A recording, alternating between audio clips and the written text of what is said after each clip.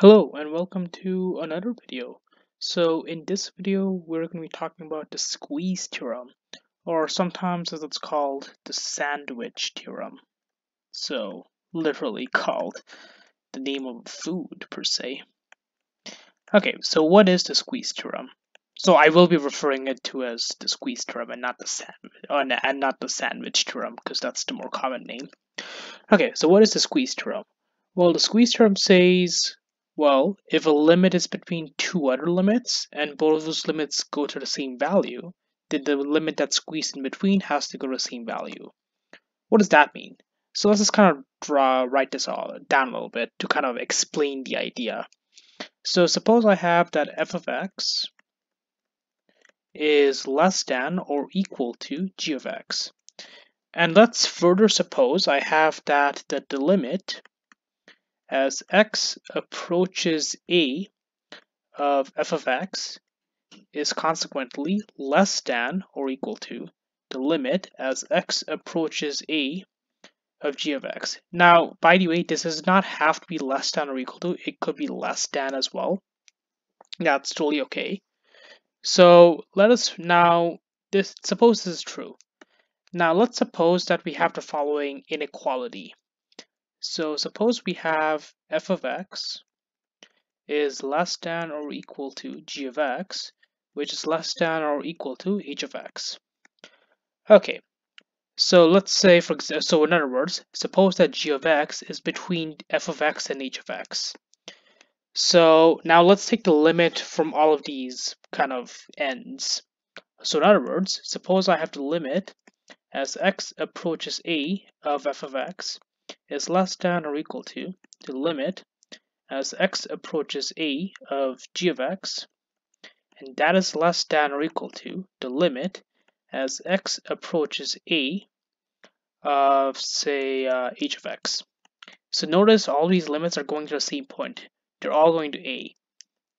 So if all these three limits go to the same point, and this inequality is true, now let's furthermore suppose that I have that the limit, so suppose that this limit right there is equal to L, and suppose that this limit right there is also equal to L.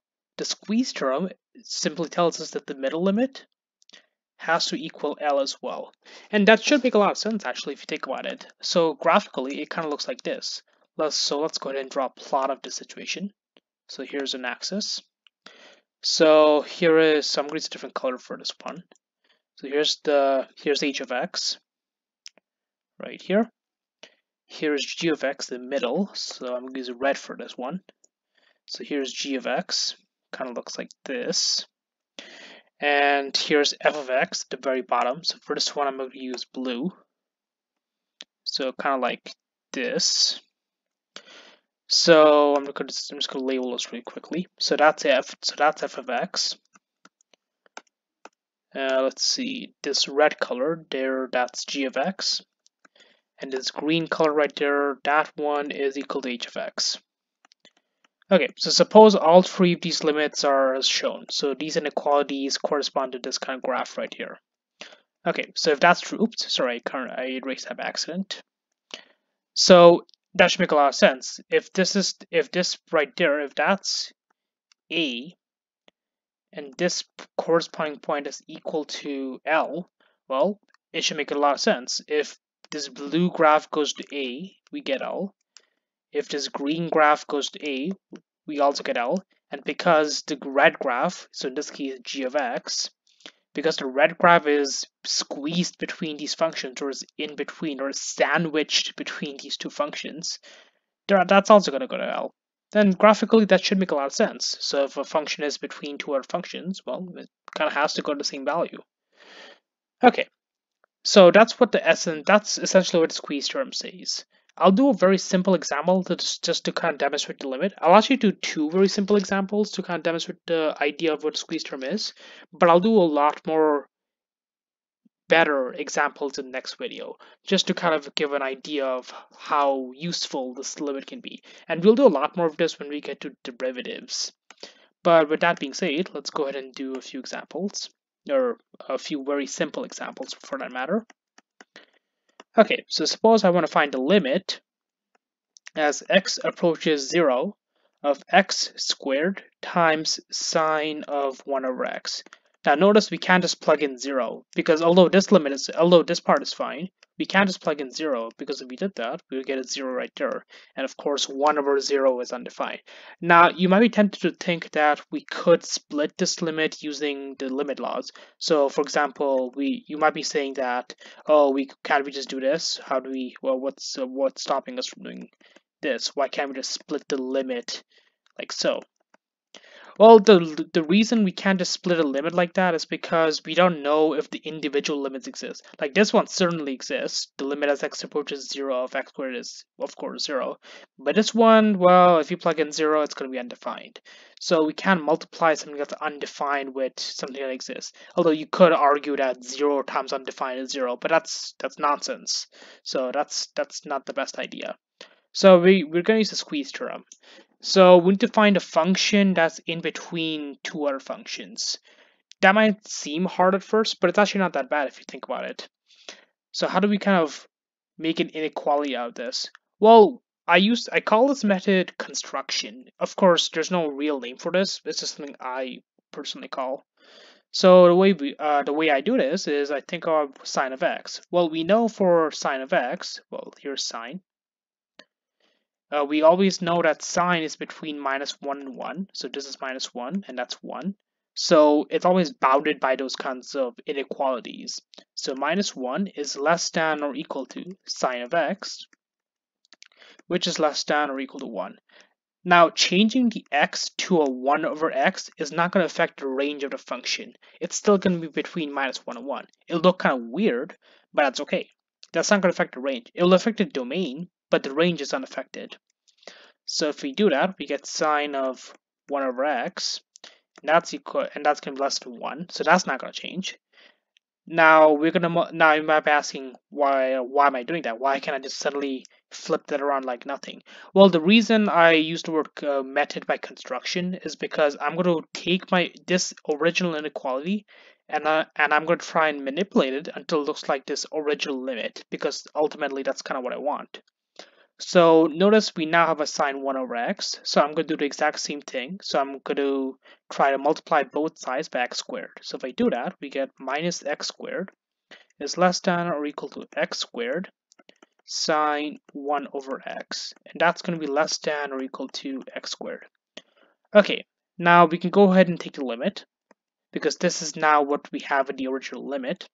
So now we get the limit as x approaches, well, 0 of minus x squared is less than or equal to the limit as x approaches 0 of x squared sine 1 over x is less than or equal to the limit as x approaches 0 of x squared. Well, this is obviously 0. This one, well, we don't know yet. So that's still going to be x squared sine 1 over x. That's not going to change. This one is obviously 0. So the squeeze theorem tells us, if we scroll up a little bit, is if this limit is equal to the same thing as this, as this limit, the middle limit has to equal the same thing. So kind of simplifying that, if this limit is equal to 0 and this limit is equal to 0, the middle limit has to equal 0 as well. So this limit right there is equal to 0. So to kind of conclude that, the limit as x approaches 0 of x squared sine 1 over x is equal to 0. And that's it. So nothing too crazy there. So you gotta be careful. Uh, you can't just plug in 0 for limits like this. You have to use a squeeze theorem. And you can usually tell to when to use a squeeze theorem because there's always going to be some sort of sine function or cosine function. Sometimes there can be tans or arctans or inverse trig functions, but that doesn't usually happen very often. Generally, you'll always have a trig function of some sort. But of course, that being said, that's there's no universal kind of rule for what to do for a limit. Anyways, let's do another simple example, and I'll do a few more weirder, odd kind of examples in the next video. But let's just do a simple example, let's just kind of conceptualize this. So this one, we have the limit as x approaches 0 of x times cosine 1 over x to the 5. Okay, So once again, we can't just plug in zero because although this is zero, we, uh, this will give us undefined. So this is not okay. So once again, uh, we're going to start with the inequality. Now, once again, the same thing happens. Sine is between 1 minus 1 and 1. So the same thing kind of happens with cosine. Well, so cosine kind of looks like this. So that's 1, and this one is, of course, minus 1. So minus 1 is, is less than or equal to cosine of x, which is less than or equal to, well, 1. So if I go ahead and flip this x around, well, that's going to give us minus 1 is less than or equal to cosine of 1 over x is less than or equal to, well, 1. So that's not going to change. Now, the next thing I'm going to do is I have this little raised to the power of 5. So I'm going to raise both sides to the power of 5. So if I do that, I get minus 1 to the power of 5 is less than or equal to cosine of 1 over x to the power of 5 is less than or equal to 1 to the power of 5. Well, minus 1 to the power of 5 is just negative 1, so that's not going to change. So this one is cosine 1 over x, and that's equal to 1, so that's fine. Okay, so the next thing is Oh, sorry, that should be a to the power of 5. Okay, so the next thing I have is, uh, is this x. Okay, so if I multiply both sides by x, we're going to get minus x is less than or equal to x cosine 1 over x to the power of 5 is less than or equal to x. Oh, sorry, that x should be outside. So it should look like that. Yeah, sorry about that. Okay, so now I'm going to do the exact same thing. I'm going to take the limit as x approaches 0 from all of these three kind of ends. So the limit as x approaches 0 of negative x less than or equal to the limit as x approaches 0 of x times cosine of 1 over x to the power of 5 is less than or equal to the limit as x approaches 0 of x and of course, well, that's going to be zero. We don't know what this limit is, so I'm not going to write that again. So we'll just copy paste that over really quickly. Uh, and there we go. Oh, the L didn't copy. That's okay. So I'm just going to get my marker back out. There we go. Okay, and this limit is also equal to 0.